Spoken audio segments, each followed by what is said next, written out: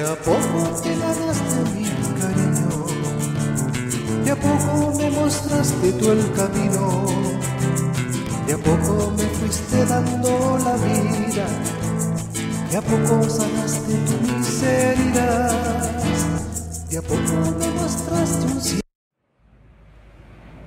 Aquí, saliendo un poco de afuera, saliendo un poco de adentro, depende el día, porque de repente hemos estado en esta época con mucho frío, con mucho viento o con un sol, pero con un viento que ahí el audio, así que aquí estamos, ¿ah? comenzando otra tarde, otra noche, otro día, otra vida, todos los días una vida diferente. ¿Y por qué es una vida diferente? Porque el Señor todos los días nos hace madurar, nos hace entender, nos hace mejorar. Ojalá todos los días aprendamos algo nuevo. Todos los días veamos que estamos un poquito mejor que ayer. Que nos caemos, sí, nos caemos, pero nos levantamos. Eso es lo importante. Levantarse. No importa cuántas veces nos caigamos. Lo importa es cuántas veces nos levantamos. Así que vamos a ver que nos ayuda a levantarnos estos cinco minutos del Espíritu Santo y veamos qué nos dice hoy día. ¿ah? Hoy día 4 de comenzando, comenzando este nuevo mes. Y mira, nos propone algo que creo que ojalá lo pudiéramos hacer varias veces al día, ahora que tenemos tiempo. Y dice, cerremos los ojos por un instante y dediquemos un momento de nuestro tiempo solo al Espíritu Santo con los ojos cerrados, sin prisa, sin ansiedades, sin nerviosismo. Tratemos de reconocer su presencia de amor. Dejemos que se vaya aplacando toda la resistencia y temores hasta que Él pueda apoderarse serenamente de nuestro interior. Sin duda, solo Él puede hacer cosas buenas en nuestra intimidad escondida. Por eso vale la pena dejarlo actuar en silencio que vamos a la meditación trascendental, que acá el este, que nos dice que hagamos un, un, un, estamos todos y hacemos esas cosas y nos llenamos de la tierra, del sol, de la energía.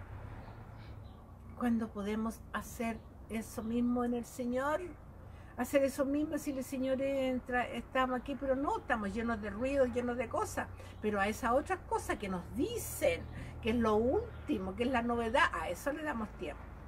Pero al Señor no, no, no. Empecemos a darle tiempo. Hagamos esto que nos pide hoy día, este librito, los cinco minutos del Espíritu Santo que nos ayuda tanto. Dejémoslo actuar. Digamos, el Espíritu Santo entra, actúa. Ayúdame a hacer un silencio interior.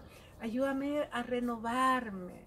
Tú me puedes renovar, Señor. Tú, Espíritu Santo, con tus dones, con tus carismas pero tienes que estar en un silencio, no tienes que estar ahí con el personal que no que tiene que estar, que me van a llamar, que tengo que hacer, que tengo que cocinar. Uy, hoy día no ha venido, uy, mi mente llena de preocupaciones. No, si estoy con el Señor, claro. Eh, tú dices que estás con el Señor, ¿no es cierto? Pero tu mente vuela para cualquier parte. No, yo soy, yo escucho y después pregunta, no sabes ni lo que estabas pensando ni lo que te estaban diciendo. Así que hermano, hermano querido, démosle un tiempito, démosle un tiempito al Espíritu Santo y digamos al Espíritu Santo, ven con este alimento. Ahí le damos el tiempo, ese silencio. Y no lo hagamos por rutina. Ah, tengo hoy día en la mañana, tengo que leer la Biblia, tengo que hacer esto, tengo que, tengo que leer esta novena, tengo que hacer este padre, tengo, tengo, tengo, tengo. Entonces me pongo y ¡tum! ya terminé la lista y se acabó. ¿Y qué hiciste? ¿Meditaste? A lo mejor con una palabra de lo primero que hiciste y no leías nada más, pero te quedaste dialogando, te llegó. Así que hermano, hermano querido, está bien, sí está bien que hagamos todo eso. Ya, pero veamos cómo lo hacemos, por rutina, por cumplir, por sentirme satisfecho que he hecho las cosas. Pero ¿qué te ha llegado? ¿Tu vida cómo ha cambiado o sigue igual? Si tu vida sigue igual es porque no le has sacado provecho, no le has dado el tiempo, para que te haga pim pim la palabra, para que te haga... Cuando te hace la palabra así, qué maravilla, tienes que decirle gracias Señor, porque me está tocando, me está haciendo reaccionar.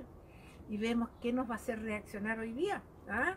Veamos qué nos va a hacer reaccionar. nos habla en Romanos que seguimos todo este mes con Romanos. Y mira lo lindo de la fe de Abraham, la fe que necesitamos hoy día, Señor, aumenta, aumenta mi fe. Y dice así en Romanos 5, 18.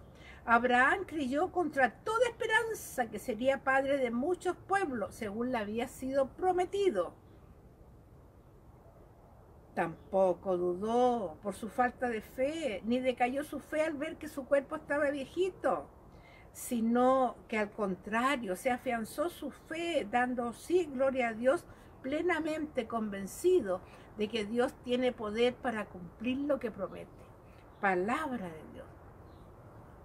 Dile, Señor, aumenta mi fe. Aumenta para creer que lo que tú prometes se va a cumplir. ¿Y qué es lo que promete? Que tú vas a vencer el mal, vas a vencer este momento que está pasando, por lo tanto te quiere feliz, alegre, esperanzadora, que Él va a vencer el mal, todo. Tú ten fe, como dijo, anda, vete, que se haga como tu fe, como tú has dicho. Así que digámosle hoy día, Señor, aumenta mi fe.